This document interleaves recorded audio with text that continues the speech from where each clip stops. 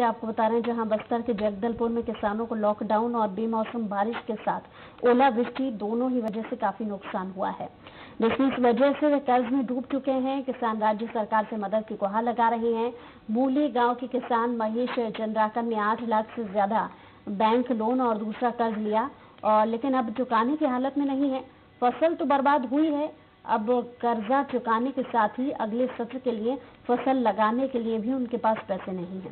स्थिति बहुत ज़्यादा खराब हो चुकी है, लिहाजा अब सरकार की मदद ही उनका एक आखिरी सहारा है।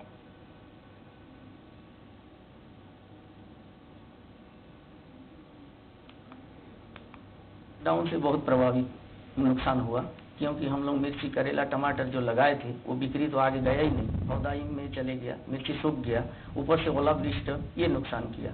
इसमें 10 से 12 लाख रुपए लागत लगा था। कितना निकल पाएगा? नहीं निकल नहीं पाएगा। लेबर को देने के लिए मुश्किल होगा। देवास के बागली तहसील